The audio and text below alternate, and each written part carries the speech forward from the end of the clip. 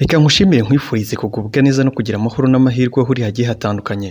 Turi ku itariki ya makumyabiri na gatandatu ni ukwezi kwa gatatu bibiri na makumyabiri na gatatu. Amakuru yacu y'uyu mwanya reka tuyakere n'ubundi muri repubulika ya demokarasi ya kongo ariko mbanze nkumenyeshe yuko mayimayi pareko ubu ngubu yazamuye abasirikare babo babiri. Ibaha ipeti rya generali mu rwego rwo kwitegura guhashya M23.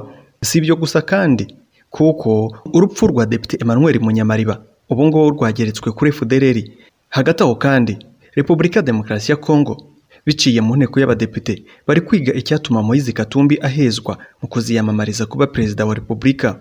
Munyamariba Emmanuel wari perezida w'abahutu muri Masisi yarasiwe igoma.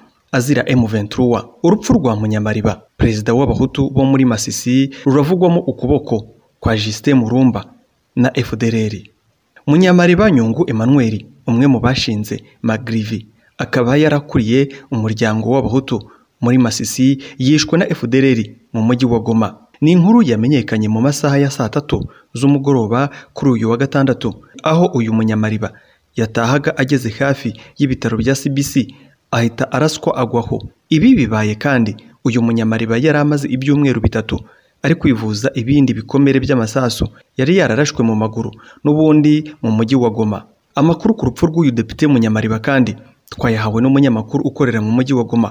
Uvuga ko urupfu rwa munyamariba rwasizwe ku mutwe wa FDLR ndetse na Mayimayi CMC FDP ya General Domi. Aho muri iki gihe iyi mitwe yombi yasizeho itsinda rigamije kwica abo ritavuga rumwe nabo.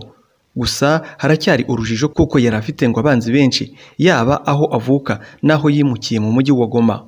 Umwe mu bagore ba nyakwigendera munyamariba utashimye ko amazina ye atangazwa. Yabwiye ikinyamakuru Rwanda Tribune ati nta gushidikanya umugabo wanjye yagambaniwe na Jire Murumba wo muri Mayimayi CMC FDP kuko yahoraga amushinja kuba icyitso cya M23.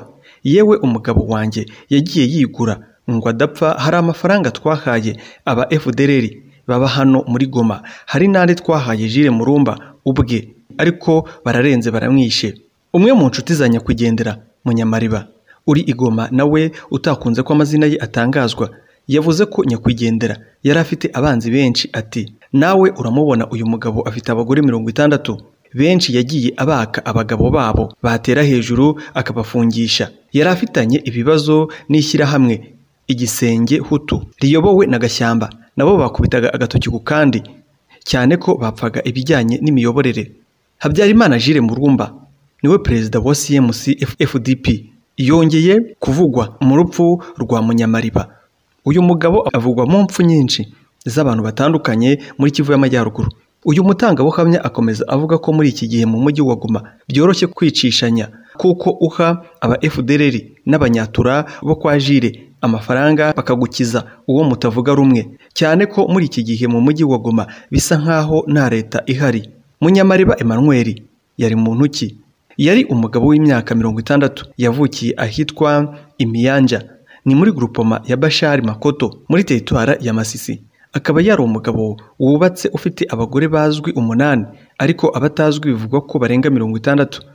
Munyamariba yamenyekanye mu ntambara ya magrivi mituelle des agriculteurs do virunga. Zatangiye ahagana mu gihumbi magana cyenda na mirongo inani na gatatu. Iri huriro ryavutse rigamije guhashya umutwe w'abahunde witwaga shenge hunde. Wari ufite intego zo kwirukana abahutu b'abanyekongo bakoherezwa mu Rwanda. Izi ntambara zaje kurangira zagukiye muri Kivu y'Amajyaruguru yose aho buri bwoko buhabarizwa bwibonye muri izi ntambara. Icyo gihe amoko y'abakongomani ntiyashakaga bagenzi babo bavuga ururimi rw'ikinyarwanda ko baguma ku butaka bwabo.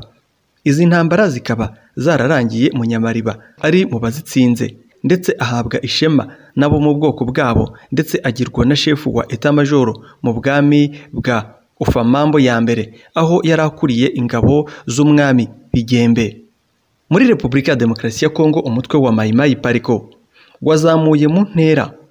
Abajenerali babiri mu rwego rwo kwitegura M23 umutwe wa pareko wagize generali kigingi kutara shefu wa etamajoro wawo aho uyungirijwe na generali de brigade birikoriko kasero.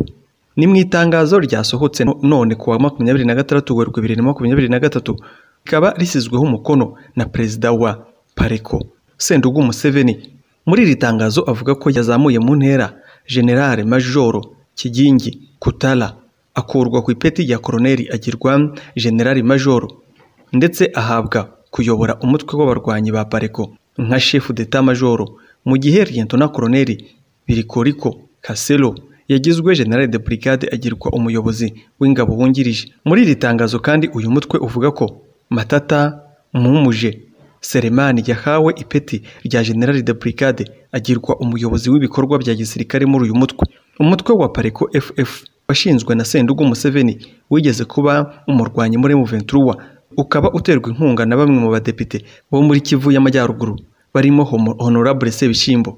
Uyu mutwe ukaba wari warigeze gusenyuka ahagana mu mwaka wa bibiri na cumi na gatanu ariko muri iki gihe ukaba wongeye kubyutsa umutwe ubwo M23 yari yubuye intambara. Umwe mu baturage batuye muri Masisi ahitwa Kazinga utashatse ko amazina ye atangazwa avuga ko uwahaye kigingi ipeti rya generali akamuha kuyobora ziriya nyeshyamba biri buze kongera gukaza urugomo mu gace ka Masisi. Cyane ko uyu kigingi atigeze aba umusirikare ahubwo yabaye mu gaco k'amabandi kayoguje aka karere. Muri repubulika ya demokarasi ya kongo hari gutegurwa icyiswe kongorite.